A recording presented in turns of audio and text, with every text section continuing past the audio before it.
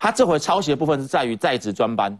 大家都知道，在职专班对很多政治人物而言，不管什么颜色，常有所谓洗学历的问题。没有啊，你现在论点就跟江启臣在声明的时候讲的一样啊。那我们就把在职专班通通的都洗一遍啊，我们来我我觉。得我觉得在职专班不是要洗的问题，我觉得这整个整个制度的问题。不要去污名化在职专班。我我现在强调，不我没有我没有我没有我没有学制的这个东西，不管是任何一个人，他有心去向学，这件事情没有被抹黑的空间。是。就是这个学位他如何的取得，今天不能因为李梅珍一个人抄袭了论文，就回来说这个所有的制度通通都有问题。你去念这个人就是洗学历，我非常痛恨人家讲什么洗学历，我我摘掉你个谈嘛。嗯，你好好的把你的东西写完，你不用怕人家解释。今天国民党为什么突然跑出洗学历这三个字，就是因为李梅珍被抓到他的论文疑似抄袭。我为什么用疑似抄袭？他自己没有亲口承认这件事情。因为他道歉的不查，也不知道是哪里不查虽然江。启臣有讲说，我觉得这个我要再重新讲一次就是抄，袭。到底论文有没有请枪手代写？我相信有读过硕士班的人，大家都心知肚明，包括网上去查都有专我门在说们我们就谈嘛。所以对我，所以我说抄袭就是错误。李我觉得李梅珍可以找是错误，一个好如果你。今天有一个具体的人，你今天讲他，我觉得 OK。我就强调嘛，你不可以说我去人家家里偷东西，偷完了之后我来说哦，我被抓到了，说哎不好意思啊，谁叫你们的锁这么烂？你看你们的锁插成这样，是你的锁要去检讨。我觉得这不对，不不我觉得这我觉得是侮辱了双方都要侮辱了现在跟过去都在有念在职专班的人，所以我觉得一码归一码。今天为什么大家会对于国民党处理的态度会觉得不能接受？因为很简单，如果你觉得李梅珍是错的，你就直接针对李梅的李梅珍的事情去处理，你不要全部通通都抓出来，就说哎，你看你们念的不好意思，我也念在职专班啊。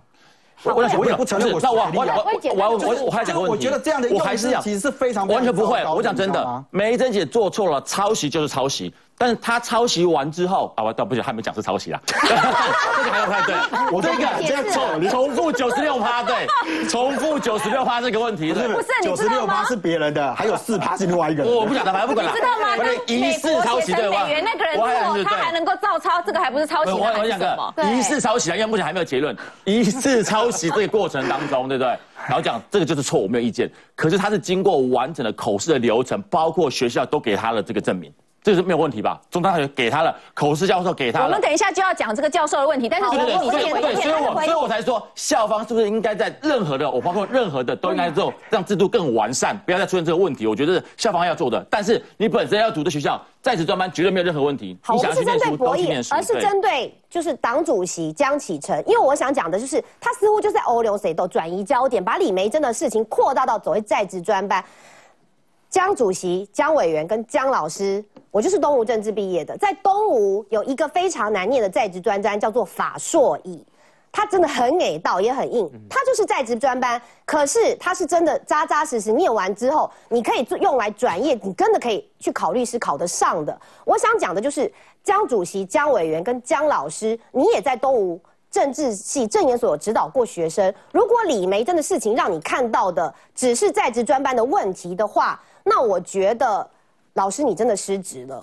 因为你没有把真正的问题点出来，现在是李梅珍的状况，而不是在职专班的状况。你要去讲别的学校，那你想想看，你所在的学校的在职专班有这样的问题吗？我觉得不用用一竿子打翻全船人。你也不能说，因为我念在职专班，你就说啊，你的论文都是抄袭就不能这样子或者的一个。说当然当然不行的，对不能说今天有一个在职专班这样，你就说人家都是来洗学历，我觉得这样是不公平的。那个中山大学内部的人士还跟我爆料，事情更严重，就刚刚直播开录之前，他说林德昌跟朱景鹏就是那个口试委员，对。哦，然后呢，整天就约大学副校对，长。整天就约这个国民党的朱景鹏一起去中山大学演讲，那些学生还强迫被去听，因为没有听满五次的话，没有办法领到什么学习护照，还没有办法过。里面呢就跟去跟你讲说什么哇，孔子学院这多棒，哎，你知道澳洲孔子学院都已经被禁了，那就是中国统战的一个部门。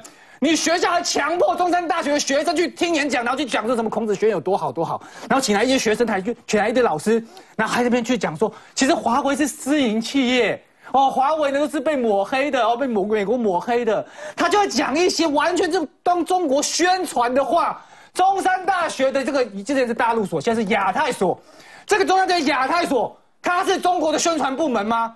为什么林德昌可以找朱景鹏，可以找一堆轻中的统派的学生进这件事情？更严重什么？他还提到那个包括爆料人他还提到，里面有个学生呢叫周俊宇，他同时开了一个公司叫台湾优良物产公司，然后呢说啊做生意呢就几亿几十亿，他为什么要去这个系所交朋友？交什么朋友？认识这些有统战关系的人之后，他可以把台湾农产品去卖去中国。他的窗口打通了，就是没错透过这个学校。对，对我必须要讲啊，你一般 EMBA 大家会怎么去交朋友，然后这边写论文很正常。